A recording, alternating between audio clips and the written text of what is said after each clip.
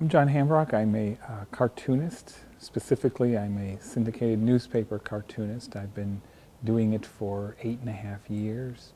I have a son who's now an engineer. He lives in Minneapolis, but when he was a little boy, uh, displayed a, a very creative and inventive mind, even at a very, very young age and uh, he sort of sparked the idea to create a comic strip. They say write what you know. Well, I certainly knew a lot about this little boy. So Edison was the first comic that I managed to get uh, support for and get it into newspapers.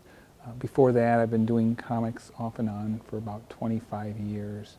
Uh, I've always drawn. I've drawn since I can remember holding a pencil. I can't put a finger on why I like art. I like being able to see what's in my head.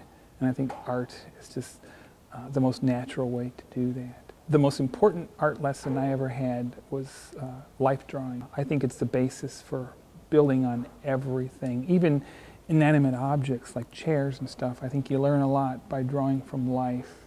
Take an inanimate object like a lamp and draw it and give it life as opposed to just copying it. Copy it and give it a personality, give it something. And I consider cartoons art. Some people don't, I do. Stay true to your own vision.